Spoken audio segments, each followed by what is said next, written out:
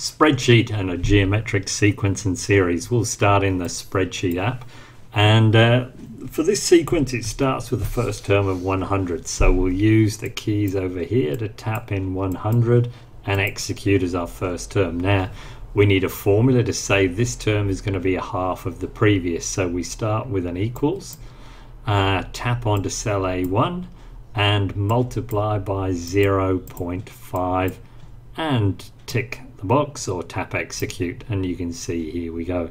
Now let's just uh, uh, find a new method for um, copying this formula down. We've seen we can copy and paste it. We can use fill range. A third method um, is to tap onto the cell and I've just tapped and I'm going to tap again.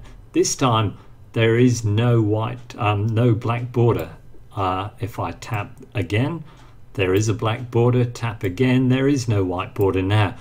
When you tap and don't get a white border you can drag the cell down one as I've just done and let go. Tap and drag.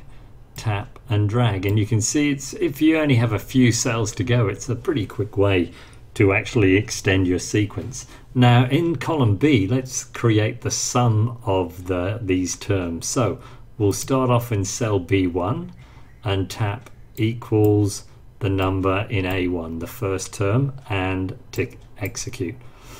Now we need a formula in here to add the 100 to the 50 and get the result in here. So here we go, we'll tap onto equals B1 plus A2. Note, remember the formula is shown in the bottom of the screen down here just to check that it's all going to plan. We'll tick um, tap on the tick and the formula is in.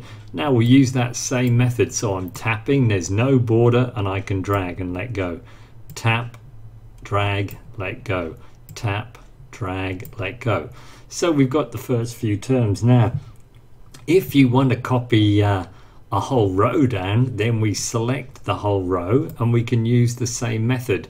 Tapping onto the left hand most cell, tap and drag, release, tap, drag, release, tap, drag, release, and so on. So there's a fairly quick way to extend a couple of um, rows of a sequence.